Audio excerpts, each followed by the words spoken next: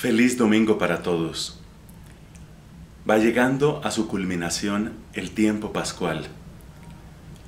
Y utilizo la palabra culminación, no la palabra final. Es la culminación porque es como el que llega a una cima. Y lo que vamos a recibir en esa cima, en ese culmen, en esa cumbre, no es otra cosa sino la gracia preciosa del Espíritu Santo. Y esa gracia no quiere apartarse de nosotros. Esa bondad, esa unción, ha de estar con nosotros, como dice el Evangelio de hoy. El Espíritu es el paráclito, es el abogado, es el defensor. Y esa palabra, paráclito o paracleto, quiere decir el que está a tu lado, para defenderte, para hablar a tu favor, para proteger lo que es valioso en ti y para ti. Ese es el Espíritu Santo. Y eso es lo que vamos a recibir. Por eso el tiempo pascual en realidad no acaba, llega a su culmen. No acaba porque la gracia propia de la Pascua, que es el don mismo de Pentecostés, no quiere apartarse de ti. Es muy interesante ver la palabra defensor, palabra que Cristo utiliza para hacernos desear la gracia del Espíritu Santo. Dice Cristo, yo rogaré al Padre para que os dé otro defensor. Con lo cual está indicando ciertamente que el primer defensor es Él. Cristo es el que aboga por nosotros. Es el que con la hermosura de sus llagas para siempre frescas, está impetrando la misericordia que tanto necesitamos. Pero necesitamos también el auxilio del Espíritu Santo.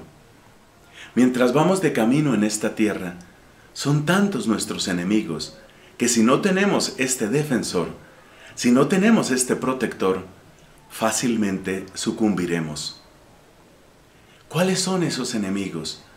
Tradicionalmente la iglesia menciona el demonio, el mundo y la carne.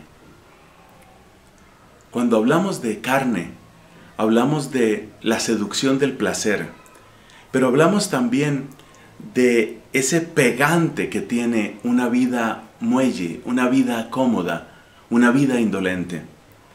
Y hablamos también de esa especie de comodidad emocional y psicológica que se obtiene cuando uno se alía con otros y forma lo que en Colombia popularmente llamamos roscas. Lo propio de la mentalidad carnal es dejar a un lado los intereses de la verdad y centrarse simplemente en los que son de mi cuerda, de mi equipo, de mi partido, de mi rosca. Ese poner por encima de los intereses de la verdad los intereses del propio grupo y además las tentaciones de la comodidad y del placer, eso es lo propio de la carne. Pero viene el auxilio del Espíritu y de tal manera incendia nuestros corazones en el deseo de lo que es genuino, de lo que es santo y de lo que es verdadero, que más allá de los intereses de la carne, recuperamos nuestra verdadera vocación y entonces se cumple en nosotros lo que dijo Jesucristo. Sed perfectos porque vuestro Padre Celestial es perfecto. El Espíritu también tiene que defendernos del mundo. Y el mundo muchas veces es la falsedad, es la vanagloria, es el triunfo de la apariencia, es la imposición de la moda, es la tiranía del relativismo, es la dictadura del pensamiento único. Todo eso es mundo. Cuando parece que quieren obligarnos a todos a que aceptemos los dictados de lo que está de moda, lo que se acepta en los países supuestamente desarrollados, cuando eso se nos quiere imponer a través de la publicidad, a través de la ley, a través de tantos mecanismos de presión, ciertamente necesitamos un defensor y ahí está el Espíritu. Pero reconocemos también, y este es el último punto, que nuestra lucha, como dice San Pablo, no se limita a las fuerzas de la carne y de la sangre. Reconocemos que el que está detrás de todo esto, el que desea verdaderamente nuestra ruina, es el espíritu malo, el ángel caído, el demonio y Satanás.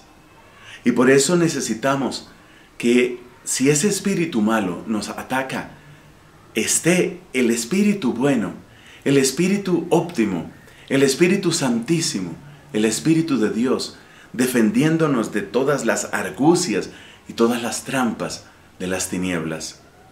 Preparémonos así a recibir la gracia, el auxilio, el poder del Espíritu que viene en nuestra ayuda a petición del Santísimo Señor Jesucristo.